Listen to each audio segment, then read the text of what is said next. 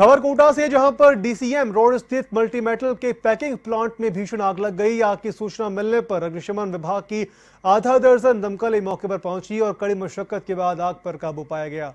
जानकारी के मुताबिक, ये आग शॉर्ट सर्किट की वजह से लगी है। हालाँकि, इस हादसे में किसी प्रकार की कोई जनहानि नहीं हुई, लेकिन होने वाले नुकसान की जानकारी जुटाई जा रही है।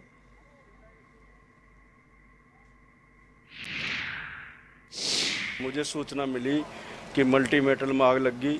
मैं तुरंत मैं जाबता के मल्टी मेटल पहुँचा हूँ और जान माल की सुरक्षा के लिए मल्टी मेटल पहुँच करके और कंट्रोल को बताया। डीसीएम से फायर ब्रिगेड आई और नगर निगम से आई है और अपने थर्मल से आई है और आग पर काबू पा लिया है। कितनी गाड़ियाँ आ चुकी है? पाँच पाँच फायर ब्रिगेड आ चुकी है। कारण तो का पता नहीं चला। जाँच करने के बाद ही पता चलेगा।